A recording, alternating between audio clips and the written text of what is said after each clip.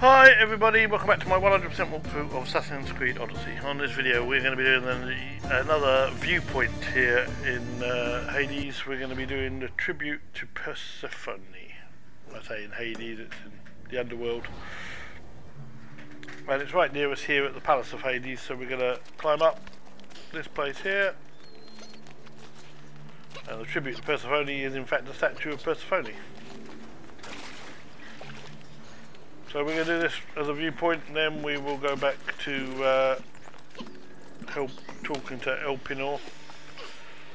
But first we'll just do this, synchronise it, and that's all there is to it.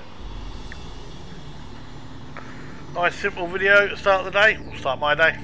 So that's all there is to it. Thanks very much for watching. Don't forget to like and subscribe. Dive off of yeah, there we go. Tribute to Persephone, fast travel unlocked. That's all goes good. So thanks for watching. Don't forget to like and subscribe. And until next time, it's bye for now.